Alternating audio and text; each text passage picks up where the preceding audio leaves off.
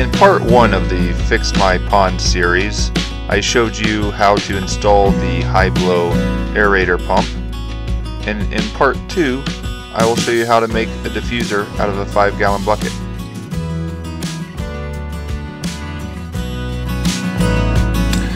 Hello there, it's Farmer Brad again. Now on today's video, I'm making the diffuser. Here I have one that's 90% completed. You need a five gallon bucket, a diffuser, and a few other parts. Uh, what I'll eventually do is I'll pour some concrete or gravel down into the bottom of this to give it some weight. Then I'll tie a rope to this handle and then that rope will go up to a decoy on the top of the pond.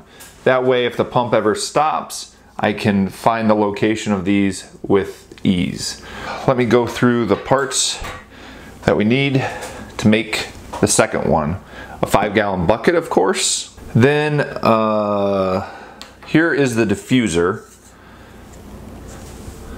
It uh, just allows for very small air bubbles to come out.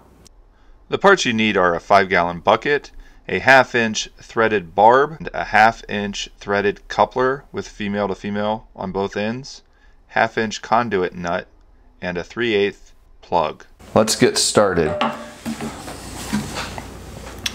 So what we're going to do is we're going to drill a hole that matches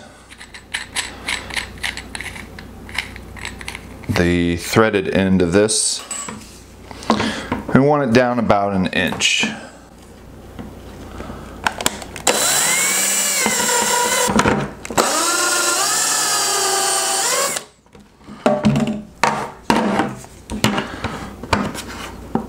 Okay, I'm gonna get a deburring tool to make that hole a little bit bigger. I'd also like to take this time to thank Hiblow for sending me the aerating pump and the diffusers. Also, their team prototyped this out in order to give me the instructions on how to make these diffusers.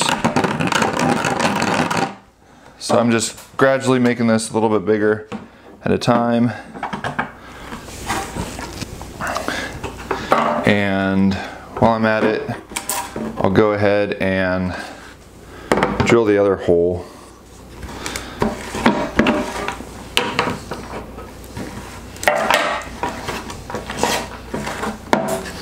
Now this hole only needs to be um, big enough for this to fit in there.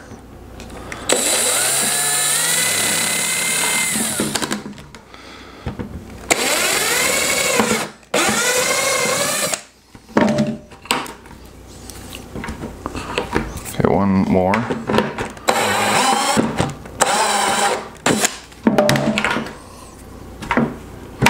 There we go.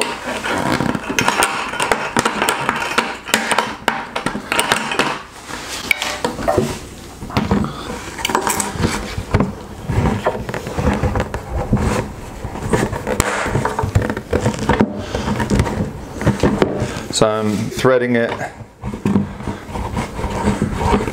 into that hole.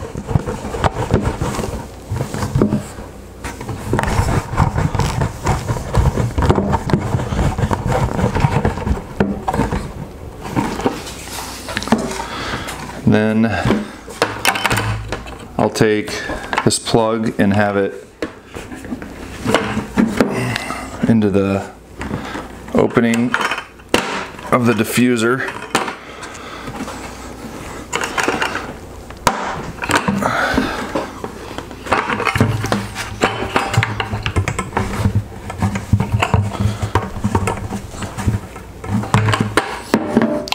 And this won't go in all the way, but it's mainly to just keep the diffuser secure. Then on this end, take this lock nut and get that placed there. Now here is where the Teflon tape comes into play. So you'll want to put a good amount of Teflon tape right on here. You want to make sure that you go this orientation so that as you're tightening it, it won't rip the Teflon tape.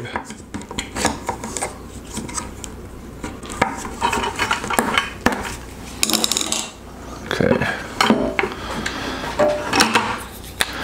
While we're at it, I'll go ahead and put Teflon tape on this connector.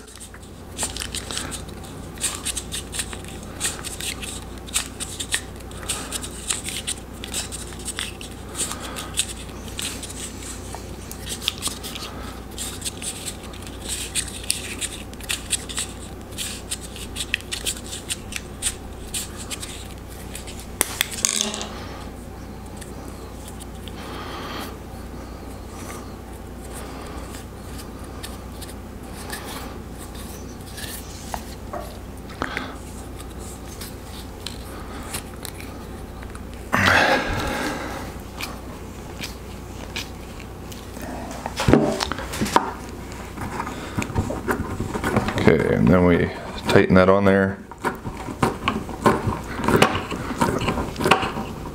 Until that's snug, and I'll get some pliers to tighten this. But here you go, this is a very easy pond diffuser to build. Uh, next step is to fill it with concrete or gravel. It really can't get any easier than this. Thanks for watching the video. Check in the description below. PracticalGardenPonds.com has given me a promo code to share with my subscribers to save you when you check out. On the next video, I show installing the diffusers into the pond.